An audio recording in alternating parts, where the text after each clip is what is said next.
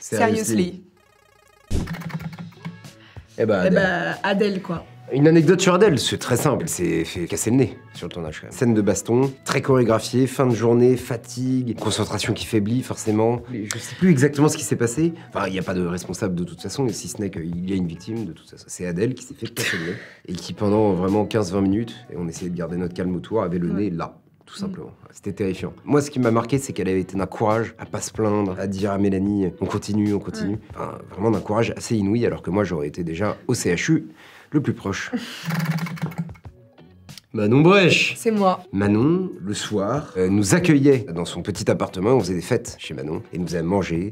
Et c'était absolument délicieux. Elle a, elle a le sens de l'hospitalité, elle est très généreuse. Merci. Félix. Et très travailleuse.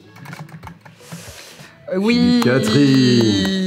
C'est pas des anecdotes proprement de tournage, mais on est assez potes avec Philippe de toute façon. Depuis le grand bain, puis on avait joué dedans. Et parfois, nous, euh, on, a- on allait se baigner en Corse. Et j'ai un souvenir de Philippe sortant de l'eau avec son corps d'athlète et qui est peut-être l'un des moments les plus enchanteurs et poétiques qui m'a été donné de voir depuis longtemps. T'es jolie.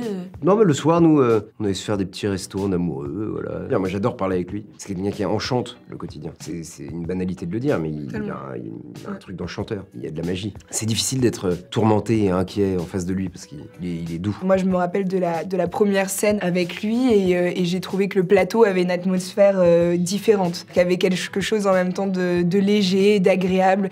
Et en fait, c'était euh, la première scène du coup que je partageais Ouais. avec lui. C'est autour d'une table ronde et il nous expose un petit peu la mission qu'on va avoir à, à faire. Et en fait, il faisait des croquis de, de Adèle, de Mélanie, de, de, de moi-même. Et je pense, en tout cas, moi, je, les- je les ai gardés. Et euh, je pense que les filles aussi. Donc en plus de ça, c'est un bon dessinateur. Il a plein de talent.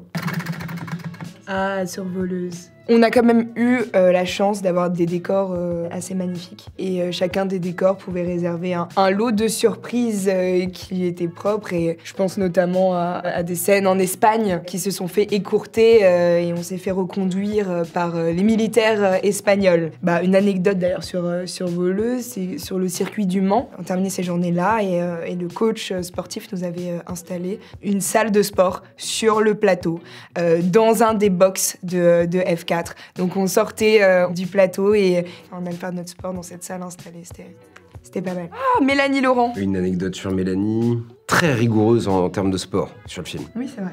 Genre dingue. C'est devenu Jason Stratham, quoi, en fait, vraiment.